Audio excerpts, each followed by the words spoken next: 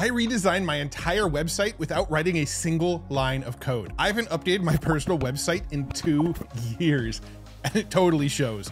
So today I rebuilt the whole thing in under an hour using Framer without having to code anything. I started by picking a template, this one's nice. Then I just swapped in my own content and adjusted the layout. Now, I don't just want it to look nice. I want it to feel really modern and sophisticated. So I'm going to add in some scroll animations and hover effects.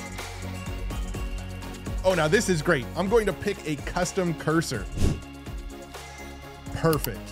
I actually can't believe how easy this was. This new site looks so much cleaner and professional. It's crazy to think that I spent less time building this than I did this. And Framer isn't just great for updating old websites, you can also use it to make your site from scratch. There's so many cool features like this freeform canvas that works just like Figma, except what you design becomes a real production ready website. Or the AI wireframer feature, where you just type a single prompt and Framer builds out a full page with sections, layout, and pre-filled copy that you can style and publish. So if you're ready to build a site that looks hand-coded without hiring a developer, check out framer.com and get one month free with my code MattWolfe2025.